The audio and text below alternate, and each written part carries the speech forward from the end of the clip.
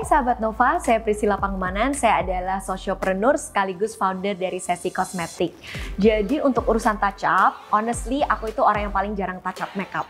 Karena uh, makeupnya Sesi, terutama uh, lips aku itu, kebetulan produk favorit aku adalah Ultimate Lip Liquidnya Sesi, which is itu bisa last long sampai up to 8 to 10 hours.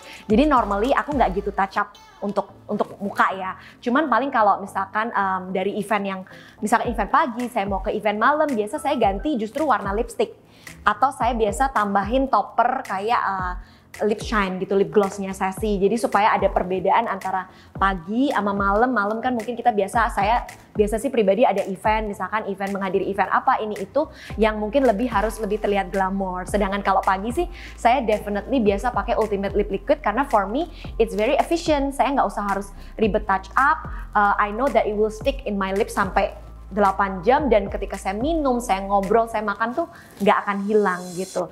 Paling juga um, sometimes saya spray kayak face mist di muka saya untuk supaya lebih seger aja sih, paling lebih ke itu.